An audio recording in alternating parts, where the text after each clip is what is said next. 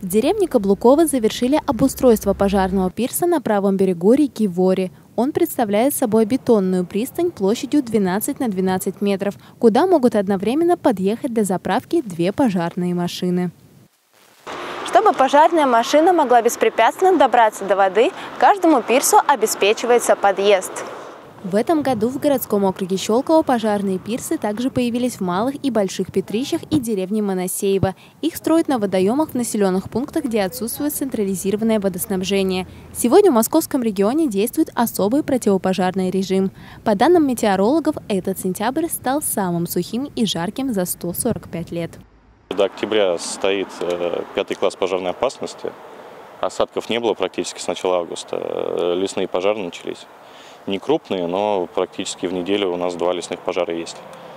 Основные правила, сейчас запрещен вообще у нас въезд в лес. В лесу нужно быть аккуратнее, э, не разжигать костров, не бросать окурки.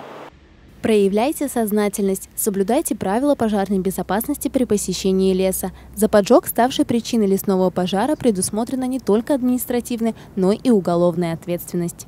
Евгения Корыцка, Евгений Михайлов, Щелковское телевидение.